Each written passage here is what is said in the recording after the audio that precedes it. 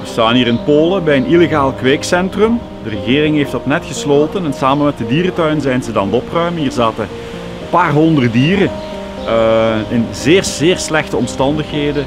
Zonder de minste vergunning werden hier dieren gekweekt omdat er een probleem is met de Poolse wetgeving waarin dat iemand die een circus uh, heeft gewoon dieren mag aankopen en onder het mom van een circus werden hier dieren gekweekt en illegaal verkocht. Heel veel dieren zijn weg en um, er zitten er nu nog een klein aantal, maar voor deze twee is er uh, gelukkig een einde gekomen aan een ellendig leven in deze, ja, deze rotplaats.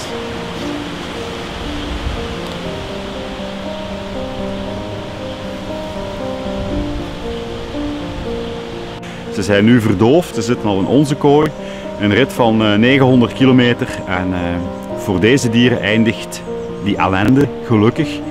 Maar er zitten nog altijd wat tijgers en nog een mannetje luipaard waar we op dit ogenblik helaas geen plaats voor hebben. Maar we gaan zoeken bij collega's of er nog ergens een plaats is om ook deze dieren een nieuwe toekomst te geven.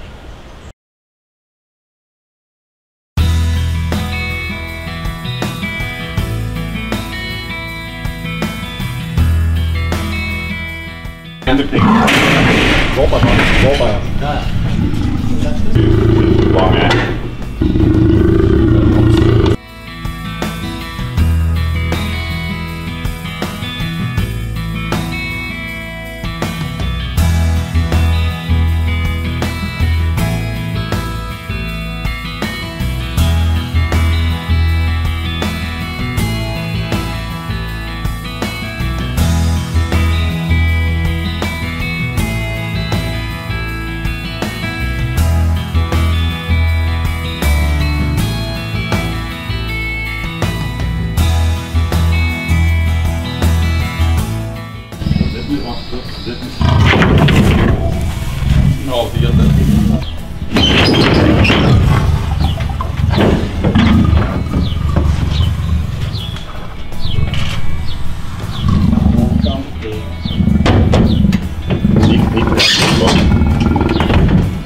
Ela, ela.